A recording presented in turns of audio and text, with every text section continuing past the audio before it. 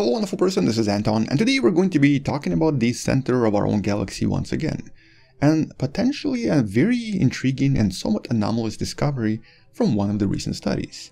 But without giving you too many spoilers right away, the assumption here is that what if it's not actually a black hole in the middle? What if it's something entirely different? And the paper itself is very intriguing in that it presents a really strong argument. But anyway, let's take baby steps. First of all, I wanted to start with this iconic video right here. This right here is the result of years and years of work that then culminated in the incredible award in physics, the Nobel Prize in Physics in 2020. This was the confirmation that there was a really massive black hole in the center of our own galaxy. And this short video shows you approximately 20 years of orbits of various stars in the vicinity. Now the most famous of these stars, and the one that's been studied the most, is the star known as S2. There are actually quite a lot of these so-called S stars in the orbit of the um, central black hole, which in case you didn't know is known as Sagittarius A star and it's visible right there in the center.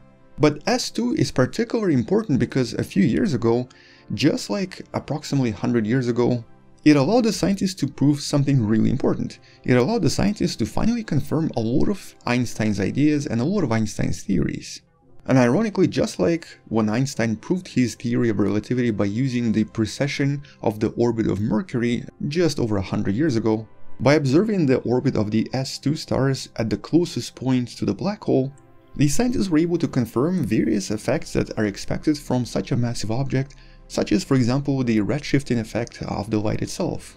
Which of course once again confirmed that there is a really massive black hole in the center of the galaxy. But then something else was discovered in this region, something that still doesn't really have a very good explanation. The objects that are currently referred to as the G objects. The objects that might look something like this. Although this is just the artist's impression right now, and even today it's still not entirely clear what exactly these objects are. In a nutshell though, these also seem to be stars, but stars that approach the black hole close enough for them to start to kind of fall apart and to get disrupted quite a lot, just to then rebuild themselves as they move away from the black hole. So they're sort of like stars, but not really, they're more like gas clouds. And although the original discovery itself already created quite a lot of mysteries about these objects, with potentially a completely new class of objects nobody's ever seen before, what became even more interesting is observing their orbits. And specifically about a year ago, this particular paper right here argued that something else could potentially explain what we're observing with the orbits of these objects. It was actually almost as if these objects were experiencing a bit of a drag from the vicinity of the black hole. Now one potential explanation I've discussed in one of the previous videos was that, well maybe it's that the region around the black hole, actually a very large region around the black hole, contains almost like an exosphere or somewhat thin atmosphere, and maybe this is what's creating this unusual drag and is forcing these objects to behave in strange ways. But this wasn't a very widely accepted explanation and more importantly it didn't explain everything. A lot of things still didn't make sense. This unusual drag force that was detected from the orbit of the G2 object was still very mysterious and very very difficult to understand. But that's at least until now. Now there's this new paper and the explanation here is very very intriguing. The explanation here replaces a very compact and really massive black hole with a somewhat less compact but also really massive some kind of a dark matter core halo or essentially a really really large chunk of dark matter all in the same spot. And though it might sound really strange, this particular idea has actually been sort of proposed before to explain how some supermassive black hole can essentially form so massive so quick. By having a really large chunk of dark matter present there in the beginning, a lot of matter can accumulate around it and then form a black hole of some sorts. But in this particular case, the scientists are really arguing that if we were to completely replace the compact black hole in the center with a much more widespread and much less compact uh, dark matter core-like formation that's made out of these hypothetical particles they refer to as darkinos, suddenly all of the observations of orbital parameters make a lot more sense. It obviously explains the orbits of S-stars, but it also explains the orbits of G-stars and the unusual observations of this drag that we see as well. Now, just like with a lot of other unusual propositions, this is just an idea for now, it's just a hypothesis. it still requires a lot of proof and chances are it might be actually proven incorrect at some point. But at the moment, this is a really intriguing proposition because, well, first of all, it sort of solves the problem of not being able to detect dark matter, especially because in this paper the scientists even propose a very specific particle that could explain what we're seeing. At the same time, it sort of solves the problem with the unusual orbital observations of G objects, something that is still not really well explained. And in this case, it's essentially stars just moving through a kind of a halo of dark matter and being disrupted by these particles as it passes through the dark matter.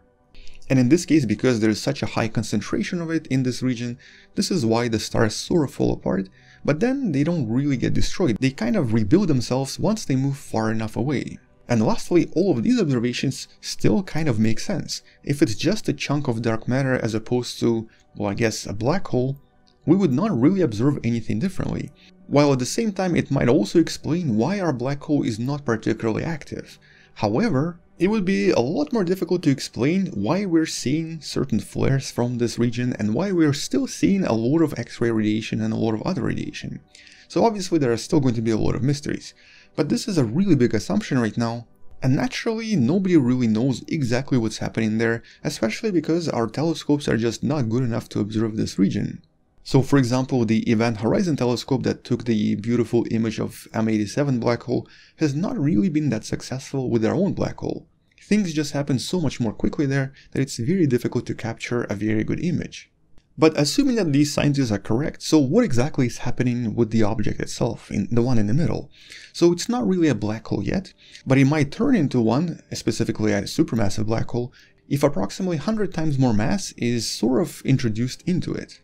So in other words, if the object in the middle of the galaxy becomes roughly around 15 million masses of the sun of this Darkino material, it might turn into an actual legit black hole with the object itself in the center maybe resembling some sort of a halo-like formation like you see right here, although possibly not in this color or possibly even completely invisible.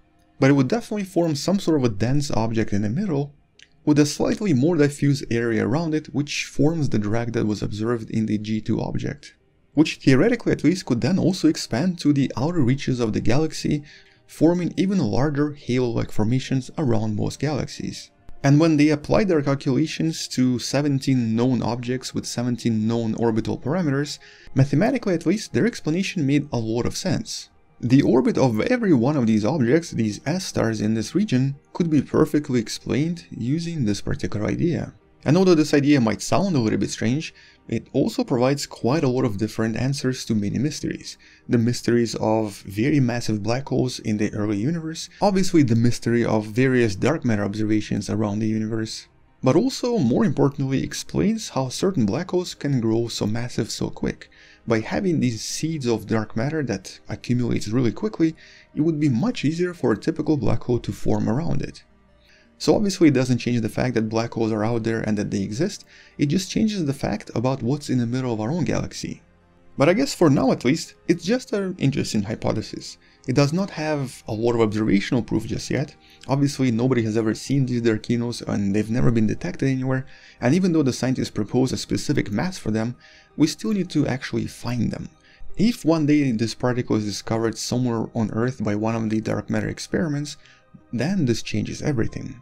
But for now, the only thing that this paper does really well is explain the unusual parameters of G objects. But the thing is, they've only been discovered a few years ago and they're still new and not very well understood. There could be a lot of other explanations to what we're observing, and some of the future explanations might not necessarily change the central black hole into a completely new object. So, at least in my opinion, this is maybe not the best explanation just yet. A lot of follow-ups are needed before anything can be said with certainty. Nevertheless, it's still an intriguing proposition and a somewhat intriguing paper. It still doesn't change the fact that there is something massive in the center of our galaxy, it just changes the fact of what we think it is. I mean, maybe the scientists in this paper are right.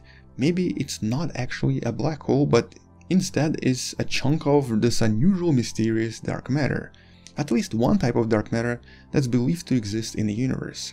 But it will probably be a few more studies before we can really say anything with certainty. At the moment I'm actually more curious to see more studies about these objects. What exactly is happening to them when they approach this object in the middle? And more importantly, it'd be interesting to see what they really look like, at least by using some sort of a supercomputer simulation. But for now, that's pretty much it. Intriguing paper, very interesting proposition, but no conclusive results just yet. And so make sure to subscribe if you'd like to find out how this story ends and what we discover in the middle of our own galaxy in some of the future studies.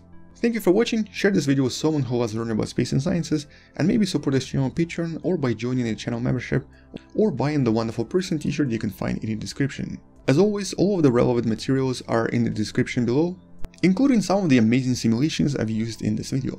Anyway, I'll see you tomorrow, stay wonderful, and as always, bye bye.